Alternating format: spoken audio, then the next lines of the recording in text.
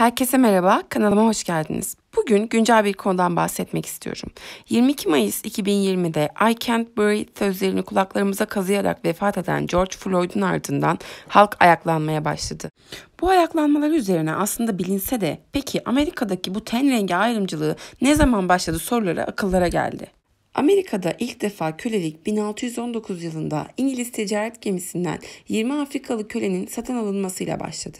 Hukuki ayrımcılık 1954 yılında son bulsa da insanların ön yargıları 2020 yılında bile devam etmekte. Bu önyargıları anlatabilmek amacıyla çeşitli dizi ve filmler yapılmıştır. Wednesday Siyas da onlardan biridir. Son olaylarla tekrar gündeme gelen dizide işlemedikleri suç yüzünden hapse giren çocukların hikayesi anlatılıyor. Çocuklar parkta koşusunu yapan bir kadına cinsel saldırıyla suçlanıyor.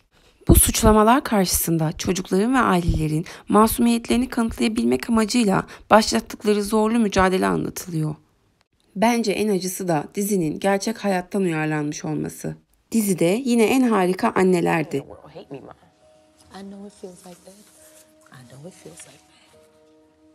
But I love you enough to make up for everybody. Başka dizi ve filmlerde insanlar ayrımcılıktan rahatsızlıklarını dile getirmişler. Fakat bunlar çözüm olmamış. Videomu Einstein'ın bir sözüyle tamamlamak istiyorum. Aptallara göre insanlar ırk, cinsiyet, milliyet, yaş, statü, renk, din gibi birçok kategoriye ayrılır. Oysa insanlar yalnızca ikiye ayrılır. İyi insanlar, kötü insanlar. Videomu beğendiyseniz beğenmeyi ve kanalıma abone olmayı unutmayın. İyi seyirler.